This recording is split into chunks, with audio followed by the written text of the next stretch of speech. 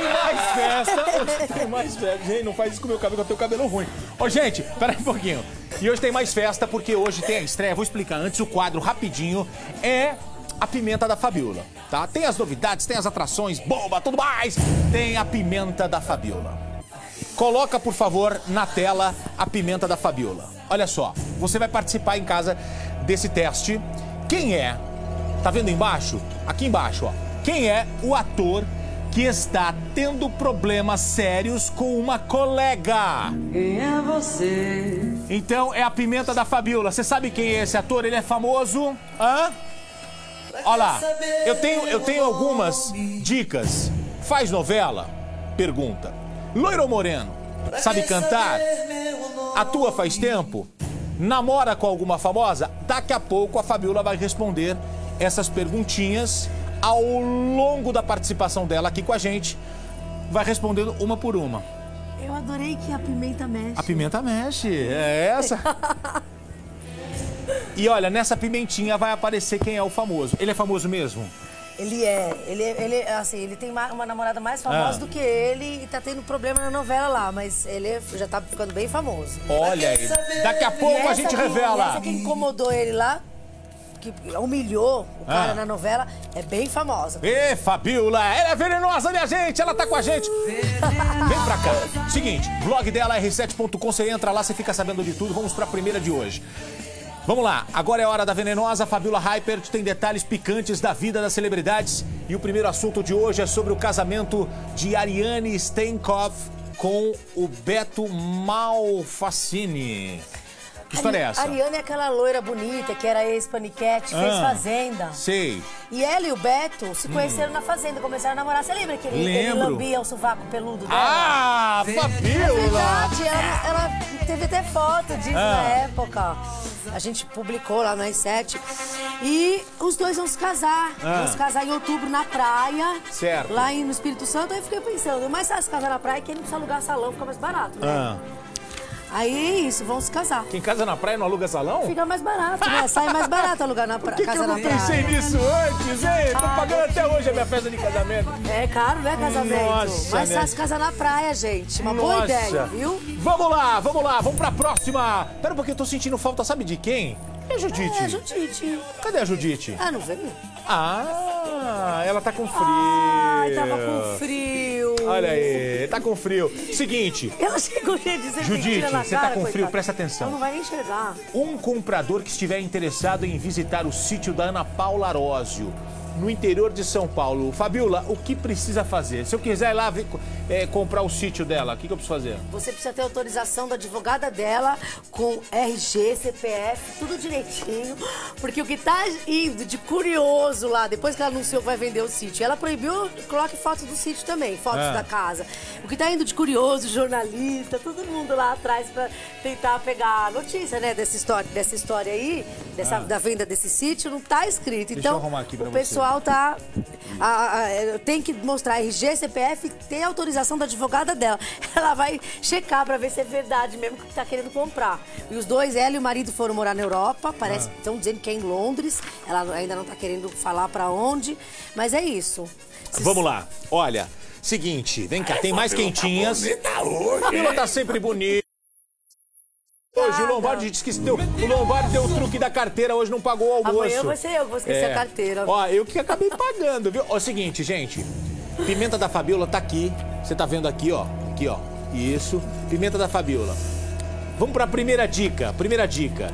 Quem é, quem é o ator que está tendo problemas sérios com uma colega? A primeira dica. Ele faz novela ou não? Mostra pra gente. Estou a fazer novela agora. Hum. E está rolando um preconceito contra ele porque ele é novato. Então ele faz novela. Faz novela. Então a primeira dica já está aberta. Ele faz novela. Vai pensando em casa quem é? É um ator famoso, está tendo problemas sérios com uma colega. É, e ela Que faz novela também? faz com ele e ela humilhou ele. Ela humilhou? Humilhou. colocou o dedo na cara dele, assim. Não, não, não, não. Falou Não, um negócio que eu vou Não, contar não. Para, depois. para, Fabiola. Calma, desculpa, gritei com você. Fabiola, A voz. daqui a pouco a gente dá outra, outra dica. Como é que o Caio Castro atendeu as fãs que foram em uma feira de material escolar? Não sei, olha, eu acho que ele tá achando que ele é um tigre. Porque ele se... ele tá atrás da grade, olha lá. Ele, se... ele, ele fez que ele é um leão. Ele ficou atrás Ficou da grade. atrás da grade, olha lá. Não Ah. deixou ninguém entrar. Só quem tinha credencial ali conseguiu entrar, poucas pessoas, mas ele atendeu o pessoal ali atrás das grades pra não, não ter muito contato. Às vezes eles não gostam que encoste muito neles, né? Isso, olha, essa daí foi privilegiada, conseguiu entrar. Olha aí, ó. Ah, ó a Judite, ó.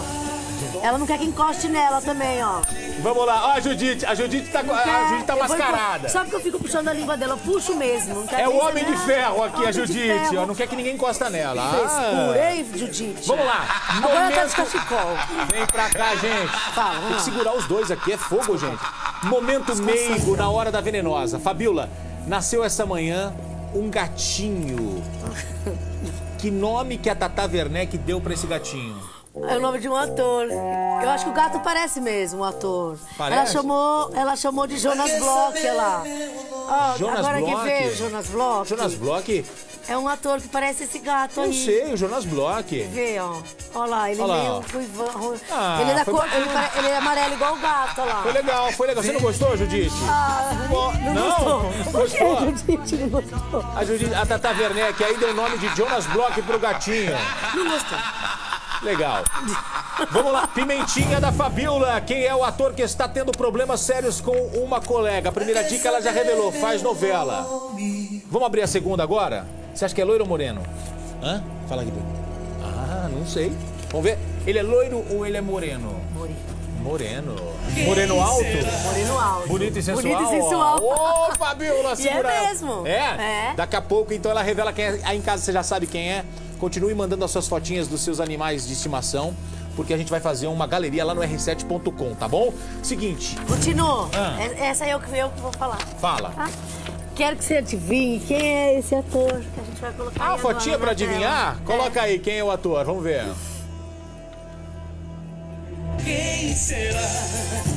Quem é esse ator? É. Quem você acha que é? É brasileiro? É. Não faço ideia. Tá irreconhecível, mas ele é famoso. Quem é você? Ai, Não sei quem é, quem é? Eu vou falar pra Judite conta. Fala pra mim. Fala, Judite. Fala, Judite.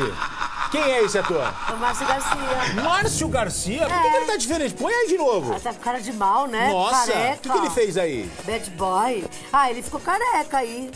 E aí ele ficou com aquela cara ali, com cara de mal. É pra alguma gravação, pra algum trabalho? Não, ele tirou aí a foto. Olha, põe de novo a foto lá.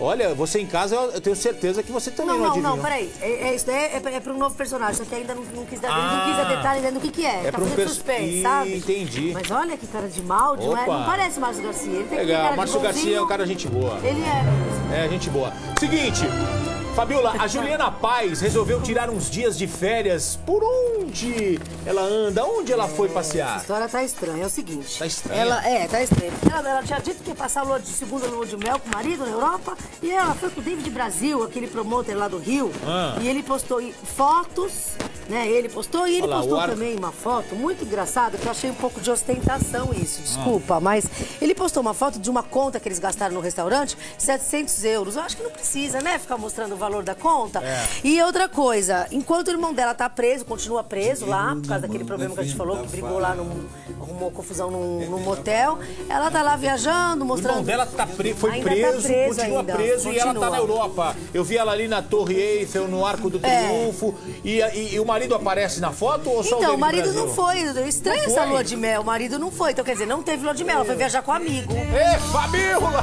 Não sei o que aconteceu aí. Vamos apurar. Seguinte. Terceira dica da pimentinha da Fabiola. Só assuntos picantes hoje, minha gente. Quem é o ator? Quem é o ator que está tendo problemas sérios com uma colega? Para, não fala isso agora. Ele faz novela, é moreno. Ele sabe cantar? Canta, viu? Canta? Canta, canta. Então ele, ele, na lá. verdade, começou como cantor. Ele também é cantor. Quem é você? Quem é o cantor? Hã? Ele faz novela, é moreno, também é cantor. Daqui a pouco ela revela quem é. Vamos falar do Elano. Jogador famoso de futebol, seleção brasileira, Santos, Flamengo, Grêmio, resolveu falar da paixão fulminante que ele viveu com Nívia Stelman. É. Atenção, é uma bomba! Põe bomba aí! Isso aí, é, isso aí foi bafo na época. O jogador ficou traumatizado. O que, que ele falou, Ele falou para um canal aí de esportes o seguinte, que ele sofreu sérias consequências pelo romance dele com a namoro, né? Foi um namoro, foi uma paixão dos dois com a Nívia Stelman, que, Ah. ele, que ele colhe os frutos negativos até hoje. Porque na época ele era casado, acabou separando, depois voltou. E assim, eu lembro que eu publiquei aqui no meu blog no R7 na época que ele pulou o muro da casa da Nívia, Stelman, foi o maior barraco.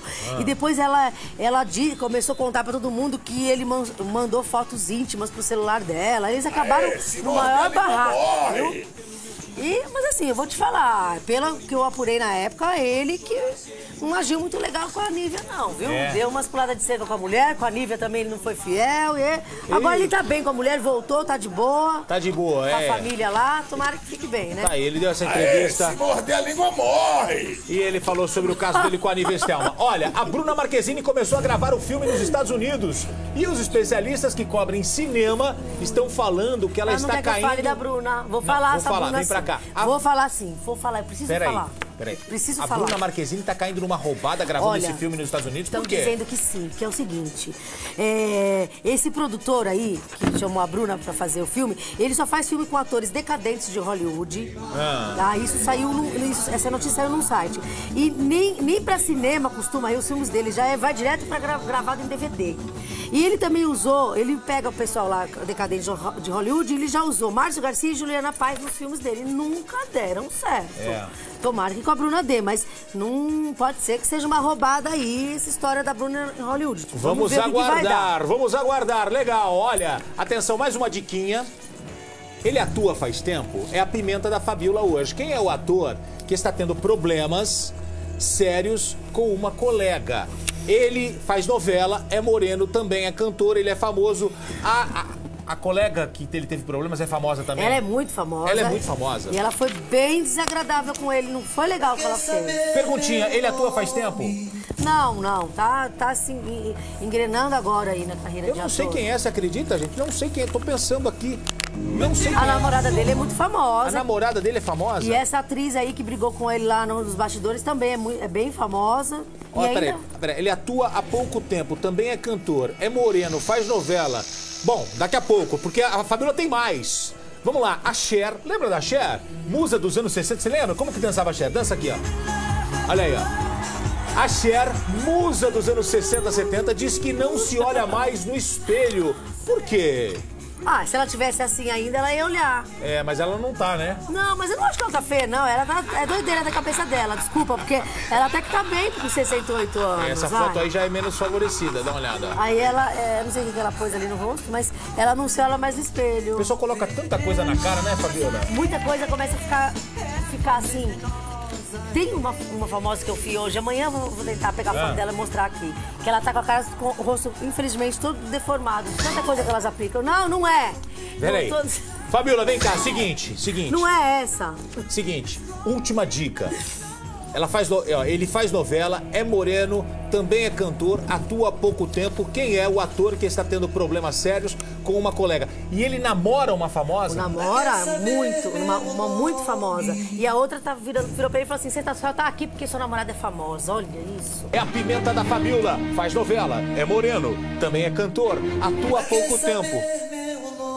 A gente quer saber seu nome. A namorada é famosa. Quem é o ator, Fabiola? É o Juno Andrade. Juno? O Juno Andrade, aquele bonitão que tá esse aí, ó, que tá namorando a Xuxa. Ah. A Julia Grant tá contracenando com ele direto na novela Boogie é, Boogie Oogie. Ah. Virou, apontou o dedo na cara dele e falou: Você é um péssimo ator, você só tá aqui porque você é namorado da Xuxa. Pô, o cara é super gente boa. Tá Realmente, ele tá brincando. começando agora. Ele não, ainda não é um bom ator. Giannichini era ruim. Hoje em dia a gente pode dizer que o Giannichini tá muito bom. Tá aí. Perto do que ele é. E ele é do bem, o Juno. Ele né? super do bem, o cara ficou todo sem graça, não precisava dessa agressividade toda, porque o cara é legal, tá se esforçando, tá procurando o espaço dele aí numa boa. Vocês gostaram, gente, da pimenta da Fabiola? Amanhã tem mais. É o Juno, namorada da Xuxa. Beijo pra Xuxa. Xuxa, uma, uma figura incrível, tá namorando. O Tá Juno. super bem com ele. E eu ouvi falar que ele é muito gente boa também, o Juno, sucesso pra É ele. verdade. E Julia Gun, não faz isso, né? Todo mundo tem, um, tem que começar uma hora. Eles têm Vem- preconceito com tá Preconceito. começando, isso não Isso pode. é legal.